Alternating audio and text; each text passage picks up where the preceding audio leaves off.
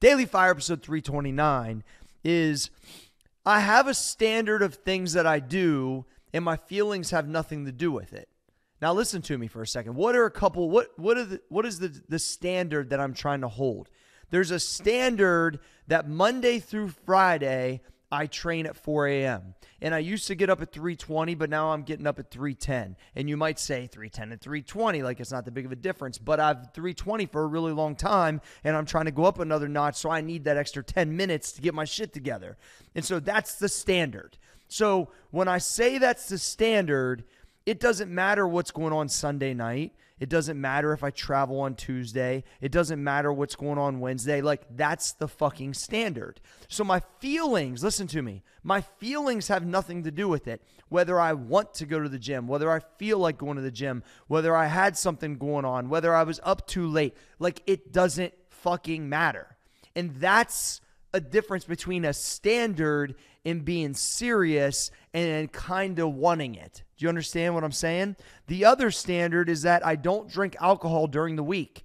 Listen, I am a part degenerate just like everyone else. I enjoy drinks. I enjoy having a good time. I enjoy smoking cigars. Like, I enjoy some dysfunction for sure. But the discipline is what has given me all of these amazing opportunities in life. So, once again, why would I not drive more discipline in my life if I want more opportunities? They're very, they're literally correlated together.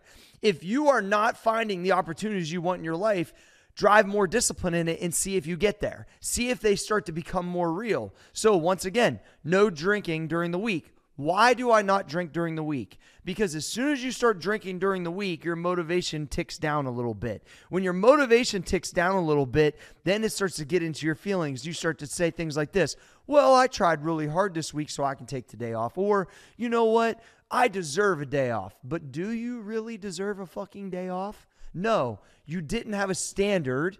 Then on top of that, it creeped in because you were a little bit weaker. And then you gave in, which means I beat you today because you stayed in bed and I didn't. Do you see what I'm saying? And then your competition is looking at you the same way. That's how I think about it. Whether that's true or false or whatever, that's the narrative, that's the standard. And so whether your standard is 3 a.m., 4 a.m., it doesn't matter. It's all relative, right? So the other standard is, and it has been now for a really long time, after I lift weights, there's some type of conditioning. Right now, I've been walking on the treadmill on the incline. It used to be 800 meters of lunges for the last decade. Either way, there's a standard of 20 to 60 minutes at this point, and I'm going to come back to this, of conditioning that I'm doing. The reason why I'm doing 45 to 60 walking on the incline, very old school bodybuilding right now. And like I said, what used to be at the track doing lunges is because I'm addicted to the personal development.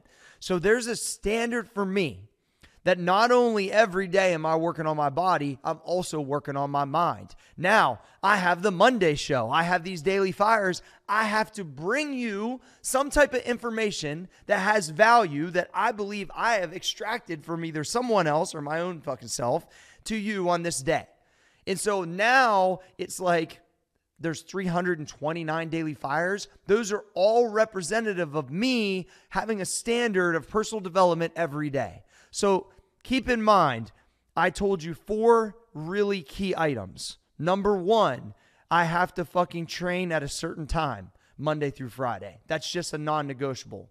Number two, there's no drinking during the week, which then does not take down my motivation so I can make sure I make that call time for that training. Number three, there's conditioning that happens every day. And that could be you could lift weights for 10 minutes and walk for 20 minutes, and that could be your thing, right? Mine is way more advanced and a little bit more extreme, but it's all relative. Number four, personal development has to happen every day. So if I then have a discipline to be someplace. That's my practice time. I have a discipline to make sure that I have to show up and it's going to physically, I'm physically lifting weights. It's going to make me feel better, right? That's like one of the best antidepressants on the planet. On top of that, I have a conditioning component that's feeding my mind at the same time. So you wrap that around with no drinking during the week. And on top of that, you start to think if I can continue being consistent on this standard, what is possible? what is possible? That's what you have to think. If I can be consistent with standards like this, now they could be less extreme than the standards I just laid out. That's the ones that work for me. And at the end of the day, if they keep fucking working, why would I change them? I just want to improve upon them. I just maybe add a little bit of time, take a little time away, whatever that is. I'm always adding and subtracting to the process. But the reality is, I keep getting a certain result, whether it's my body, whether it's my mind, whether it's my business, whether it's my lifestyle. And so I keep driving it home. So please look at what are your fucking standards? And do you keep to them? And is it important to you?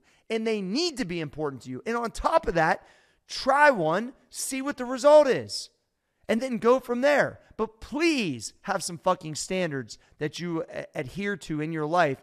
It'll make a lot of your dreams have more possibilities of coming true. Daily Fire episode 329.